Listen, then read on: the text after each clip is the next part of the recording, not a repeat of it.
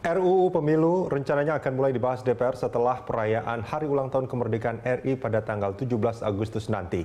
Poin krusial apa saja yang perlu dikawal publik dalam pembahasannya dan apakah draft yang disusun pemerintah akan menjamin peningkatan output Pemilu 2019.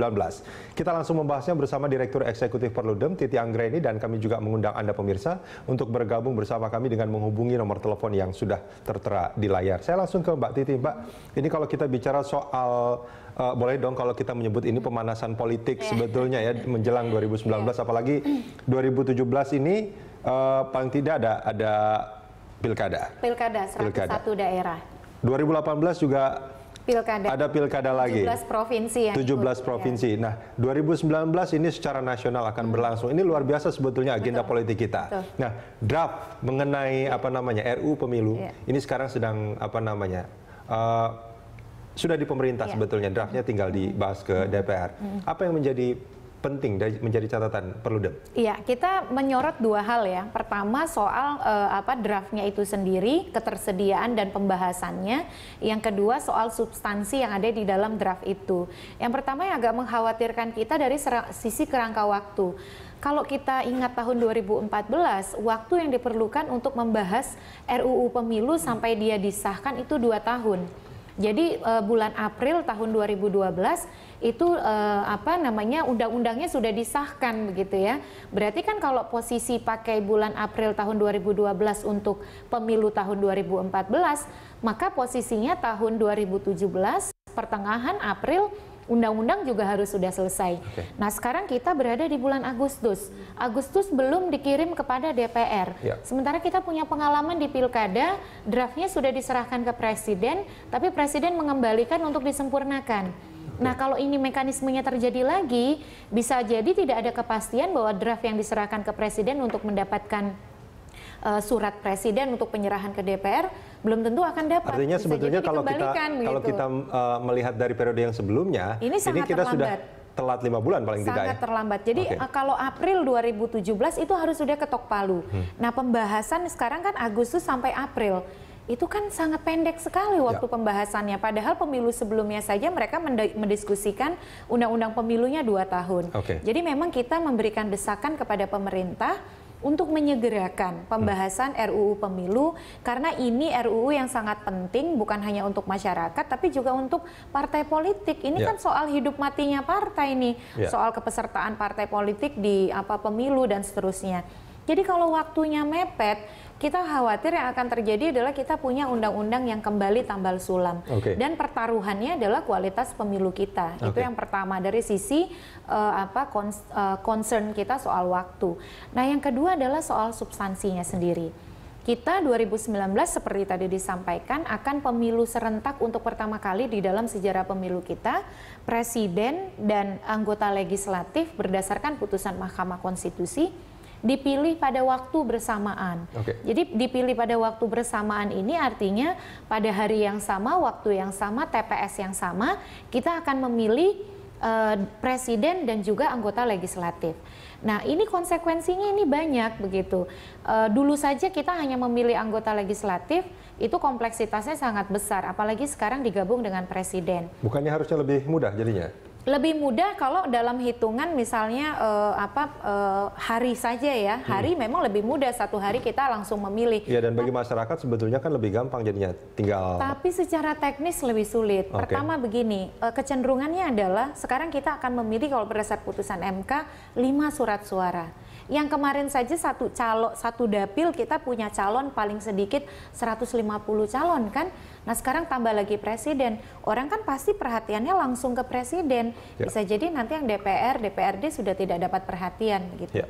Nah, tapi bukannya kalau kita melihat dari pemilu-pemilu sebelumnya juga banyak orang yang nggak kenal juga sebetulnya apa yang ada di tapi kan daftar. kita tidak mau melanggamkan itu, begitu. Justru tantangan perbaikan ke depan adalah bagaimana di tengah pemilu serentak orang tidak terputus dengan wakilnya, okay. orang tetap kenal dengan wakilnya. Belum lagi hal-hal yang misalnya sangat teknis. Oke, kalau pemilu serentak berarti persiapannya kan juga berbarengan. Hmm. Bagaimana dengan persiapan tahapannya? Bagaimana dengan persiapan pencalonannya? Kalau dulu yang boleh mencalonkan itu adalah partai politik yang uh, punya kursi di ya. parlemen. Ya. Nah, sekarang pertanyaannya, karena pemilunya serentak masih relevan tidak? Yang tadi disebut dengan presidential threshold sebenarnya kurang pas. Yang lebih pas itu adalah syarat untuk mengusung calon, hmm. gitu ya. Kalau presidential threshold adalah syarat untuk mendapatkan kursi presiden, hmm. gitu. Nah, bagaimana dengan syarat untuk mengusung calon? Apakah semua partai boleh mengusung ya. ataukah hanya partai yang punya kursi di parlemen? Ya. Kalau ini, ini hanya per, ya pernyataan-pernyataan dari apa namanya dari uh, politisi udah banyak keluar sebetulnya soal itu. Iya, tidak hanya soal itu. Ini kan sudah ramai nih misalnya soal sistem pemilu ya. mau ter, uh, terbuka atau tertutup. Ini debat yang tidak sehari dua hari nih, tidak sebulan dua bulan begitu ya. Lalu soal uh, parliamentary threshold atau ambang batas untuk memperoleh kursi di parlemen. Ada yang sangat percaya diri uh, perolehan suaranya di pemilu 2014 kurang dari 7 persen, misalnya Nasdem, sekarang mengusung uh, parliamentary threshold 7 persen. Hmm. Padahal dulu 7 atau 9? 7 ya? 7 persen okay. gitu ya. Nah kalau 7 persen banyak sekali tuh partai akan berguguran begitu yeah. ya. Uh, belum lagi soal misalnya bagaimana kepesertaan partai politik baru di pemilu. Sekarang kan sedang verifikasi partai politik untuk menjadi partai berbadan hukum di Kemenkumham. Nah, belum lagi tadi soal uh, apa syarat untuk mengusung calon. Secara teknis banyak sekali yang harus kita sesuaikan akibat pemilu serentak uh, presiden dan wakil presiden. Oke, okay. uh, eh, kita coba bahas satu-satu dari ya. substansinya itu. Kalau dari segi waktu, oke okay lah ini sudah telat dan artinya ya. harus uh, solusinya memang pemerintah harus segera. Betul. Hanya itu solusinya, Betul. tidak ada cara yang lain sebetulnya. Hanya itu dan kemudian membuka proses. Hmm. Selama ini kan uh, publik tidak banyak tahu ya, ya. soal ya. proses. Kekhawatirannya adalah nanti lagi-lagi produk itu kemudian tidak mengakar dan kemudian tidak sesuai dengan aspirasi. Ya. Nah, uh, kita bahas substansinya uh, soal apa namanya ambang batas parlemen tadi hmm. yang 7%. Ya. Nah, kalau menurut kajian uh, Perludem pernah mencoba untuk melakukan kajian tentang ini ya.